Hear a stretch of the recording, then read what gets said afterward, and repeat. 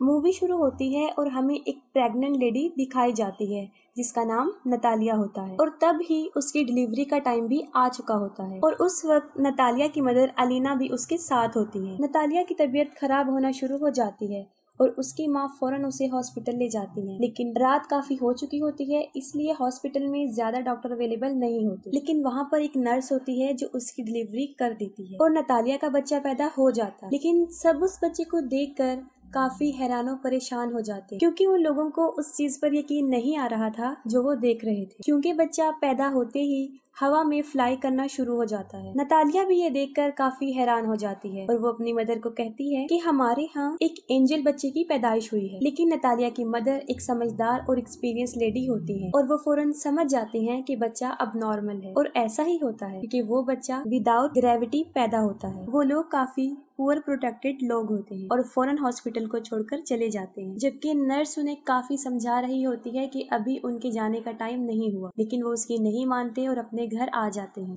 जब वो लोग घर आ जाते हैं, तब नतालिया की मदर उसे एक अजीब सा क्वेश्चन पूछती है। वो पूछती है कि तुम याद करो कि इस बच्चे का बाप कौन है? लेकिन नतालिया को याद नहीं आ रहा होता कि उस बच्चे का बाप कौन है। फिर उसकी मदर उसे बताती है कि ये कोई नॉर्मल बच्चा नहीं है और इस बात को हमें राज रखना। और अगर इस बात का किसी को पता चल गया तो हमें कई मुसीबतों का सामना करना पड़ सकता। फिर वो बच्चे का नाम सिलेक्ट करते हैं।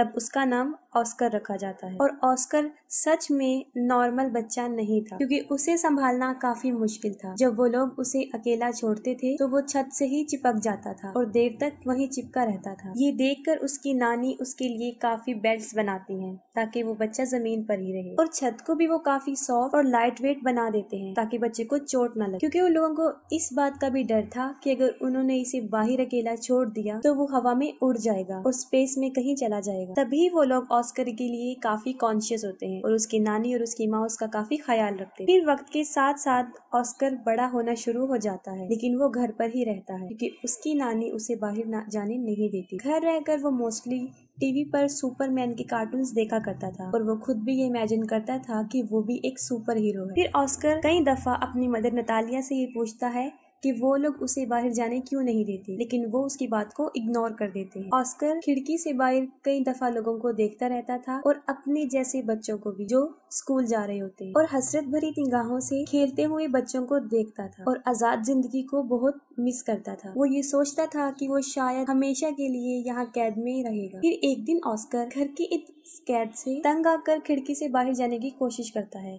लेकिन उसकी नानी उसको देख लेती है और वो काफ़ी गुस्से में आ जाती है। ये इंसिडेंट देखने के बाद उसकी नानी सारी विंडोज़ को सील कर देती है।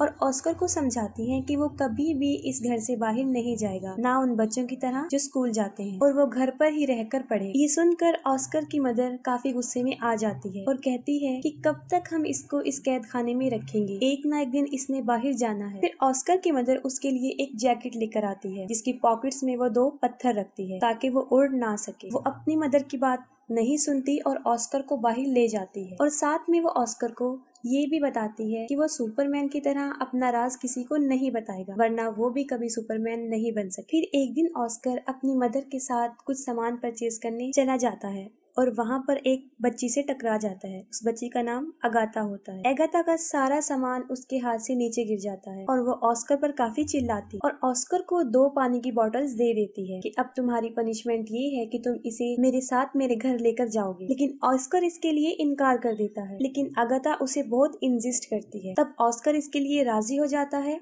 और अपनी मदर को बगैर बताए वो उस बच्ची के साथ चला जाता है। अब ऑस्कर के हाथ में दो भारी बॉटल्स होती हैं और उसके पॉकेट्स में पत्थर भी होते हैं। जिसकी वजह से वो काफ़ी हैवी महसूस कर रहा होता है। वो अपनी पॉकेट से दोनों पत्थरों को निकाल कर फेंक देता है। अब एगता के साथ उसकी फ्रेंडशिप हो जाती है। फिर एगता अपने घर पहुँच जाती है और वो ऑस्कर से पानी की बोतल्स मांगती है। लेकिन ऑस्कर पानी की बोतल्स देने से इनकार कर देता है। क्योंकि उसे पता होता है कि अगर उसने ये पानी की बोतल उसे दे दी तो वो हवा में उड़ जाएगा। क्योंकि एगता ना समझ होती है और वो ऑस्कर से बॉटल छीन लेती है। जैसे ही वो ऑस्कर से बॉटल लेती है, वो हवा में उड़ जाता है। वो जगह चारों तरफ़ से काफ़ी बंद होती है, इसलिए ऑस्कर ज़्यादा ऊँचा नहीं उड़ता। एगता ये देखकर काफ़ी हैरान हो जाती है और चिल्लाकर उसे सुपरमैन कहती है। ऑस्कर उससे हेल्प माँगता है। ये सुनकर एगता फ़ौरन अपने रूम में जाती है और अपना एक पिंक कलर का बैग उठाकर लाती है, जो पत्थरों से भरा होता है। और उनका आइडिया ये था कि इन पत्थरों को वो अपनी पॉकेट्स में रखेगा, जो कि एक अच्छा आइडिया था। उनका ये प्लान अच्छा साबित होता है और ऑस्कर नीचे आ जाता है। फिर उनकी गहरी दोस्ती हो जाती है। फिर ऑस्कर एगता को कहता है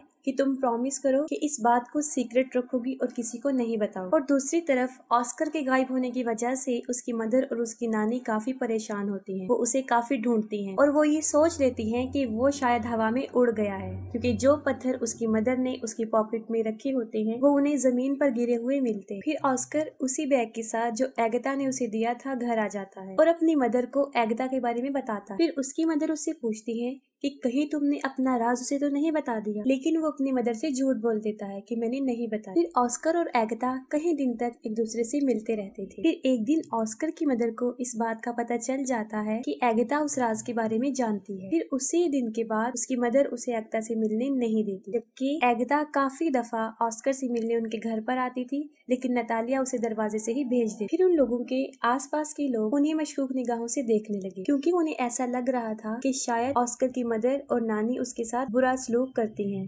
तभी वो उसे घर से ज़्यादा बाहर आने नहीं देती और वो स्कूल भी नहीं जाती। फिर इस बारे में वो पुलिस को बता देती। फिर अगले दिन पुलिस उनके घर आ जाती है और उन लोगों को वार्न करती है कि वो ऑस्कर को कल से स्कूल भेजें और मजबूरन उन लोगों को ऑस्कर को स्कूल भेजना पड़ा। फिर ऑस्कर की मदर उसके साथ स्कूल जाती है और उन्हें इस बात का भी ख्याल आ जाता है कि ऑस्कर एक नॉर्मल लाइफ नहीं जी सकता। फिर वो ऑस्कर को ले आती हैं और उनकी आँखें आंसुओं से भर जाती हैं। उसकी मदर इस सारी बात को समझ जाती है और वो घर छोड़ने का फैसला करते हैं। फिर वो अपने घर को छोड़कर बहुत दूर एक जगह पर रहना शुरू कर देते काफ़ी साल गुजर चुके होते हैं। अब ऑस्कर भी जवान हो जाता है। उसकी मदर काफ़ी ओल्ड हो जाती हैं और उसकी नानी की डेथ हो जाती है। और ऑस्कर के पास अब तक वो बैग होता है जो एगता ने उसे दिया होता है। वो उस बैग को कभी भी अपने से दूर नहीं करता था। इवन के सोते वक्त भी वो उसे अपने साथ लेकर सोता था। लेकिन आज भी उसका लाइफ जीने का वही तरीका घर में रहकर ही वो ज़िंदगी गुजारता और उसकी ज़िंदगी सीक्रेट पर ही चल रही होती ऑस्कर की मदर और वो एक दूसरे का बहुत ख्याल रखते थे। ऑस्कर अब अपनी ज़िंदगी से फेडअप हो गया था। इस राज को छुपाते हुए वो काफ़ी तंग आ चुका फिर वो सोचता है कि अगर दुनिया को उसके बारे में पता चल जाएगा तो वो थोड़े ही वक्त में पूरी दुनिया में मशहूर हो जाएगा। जैसे उसका आइडियल मैन सुपरमैन और उसके ऊपर बहुत से लोग किताबें भी लिखेंगे। लेकिन उसकी मदर ऐसा कुछ नहीं चाहती लेकिन उसकी मदर उसे समझाती है कि ऐसा कुछ नहीं हो क्योंकि उसकी मदर को ऐसा लगता था कि अगर दुनिया को इस राज का पता चल गया तो वो उसे खो देगी। फिर वो अपनी माँ की खातिर सबर कर लेता है, लेकिन फिर उसका सबर खत्म होना शुरू हो जाता है और एक दिन वो अपनी मदर को बगैर बताए घर से बाहर चला जाता है। फिर वो एक मैजिक शो में चला जाता है, जहाँ लोगों के टैलेंट को दिखाया जाता है और वो पहली मरतबा अपने टैलेंट को दिखाने वहाँ चला जाता है। फिर उसी रात वो शो हिट हो जाता है और उसकी माँ भी ये वो शो देख लेती है। इस मामले में ऑस्कर की मदर बेबस थी।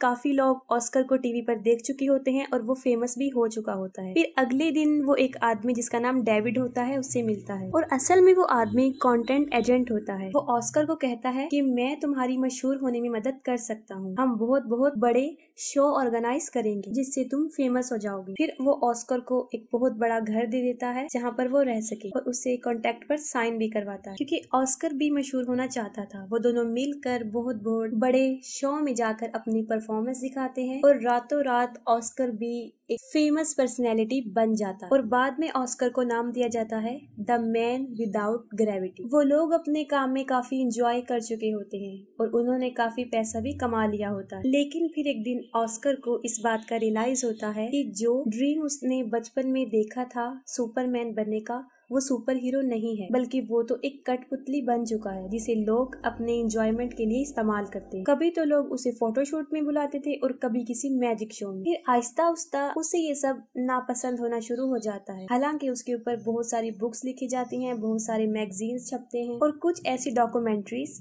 जिसमें उसकी नानी और उसकी मदर को काफ़ी बुरा प्रेजेंट किया, जिसे ऑस्कर को काफ़ी बुरा लगा। और फिर एक आखिरी शो होता है। जिसमें उसे एंजल का कॉस्ट्यूम पहनाया जाता है, जो उसे बहुत बुरा लगता है। वो कहता है कि मैं कोई एंजल नहीं हूँ। उसे काफ़ी गुस्सा आता है और वो शो में ही लोगों को बुरा भला कहना शुरू कर देता है। फिर वो अपनी मदर को कहता है कि वो ये सब कुछ छोड़ने का फैसला कर चुका है। फिर वो अपने एजेंट को कहता है कि बस, मेरा काम यहीं तक था, मुझे अब मशहूर नहीं हूँ और मजीद वो ये काम नहीं करेगा। उसका एजेंट उसे समझाता है कि तुम इसे ऐसे नहीं छोड़ सकते, लेकिन ऑस्कर इन सबसे तंग आ चुका होता है। वो कहता है कि तुम लोगों को जाकर ये कह दो कि द मैन विदाउट ग्रेविटी मर चुका है या हवा में कहीं पर उड़ गया। फिर वो अपनी माँ को भी गुड बाय कह देता है, क्योंकि वो एक अलग ज़िंदगी जीना चाहता है। और अगले दिन न्यूज़ पर ये खबर आ जाती है कि द मैन विदाउट ग्रेविटी मर चुका है। और बहुत से लोग उस पर तरह तरह के क्लेम करते हैं। ऑस्कर की माँ अब अकेली रहना शुरू हो जाती है और कई विजिटर्स ऑस्कर के बारे में पूछने उनके घर आते जाते थे। लेकिन वो कुछ भी उन लोगों को नहीं बता और फिर काफ़ी साल गुजर जाते फिर ऑस्कर की मदर की भी डेथ हो जाती लेकिन ऑस्कर अभी तक ज़िंदा था।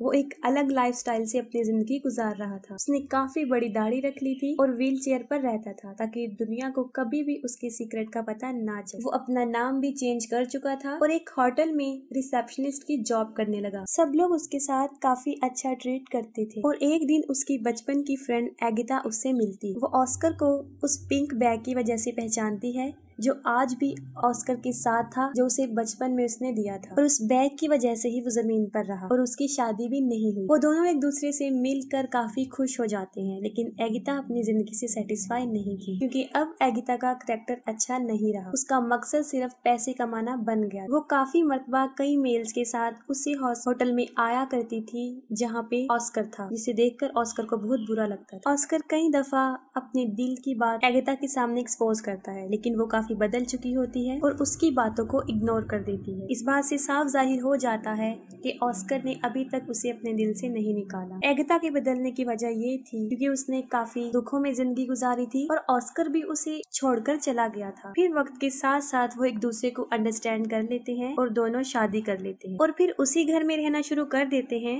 जहाँ वो बचपन में रहा करते थे। और यहाँ पर मूवी एंड हो जाती